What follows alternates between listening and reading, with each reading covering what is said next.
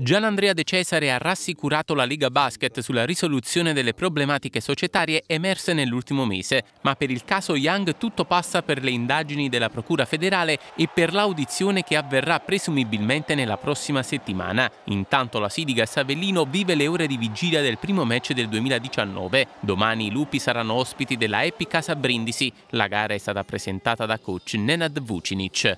Come per i precedenti appuntamenti, quella di Brindisi sarà una gara difficile. Affronteremo una buona squadra che esprime una pallacanestro di qualità e molto intensa vengono da una bella vittoria ottenuta a Trieste e lottano per un posto tra le prime otto del torneo. Ci aspetta una gara fisica, ma dobbiamo concentrarci su noi stessi e su come dovremo giocare cercando di migliorare nell'esecuzione, mantenendo l'intensità avuta nelle ultime uscite. Dovremo inserire tutti i giocatori, ad esempio Campani e Campogrande. Sarà una buona occasione per loro per continuare nel processo di crescita individuale.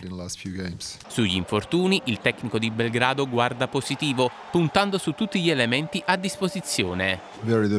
È difficile allenarsi così. Ieri eravamo in sette, siamo in emergenza, ma dobbiamo convivere con questa situazione sperando che non duri a lungo. Entro la fine del mese speriamo di recuperare Ndiaye. Su Costello non ho notizie certe per i tempi di recupero, ma posso contare su Spizzichini che non molla mai.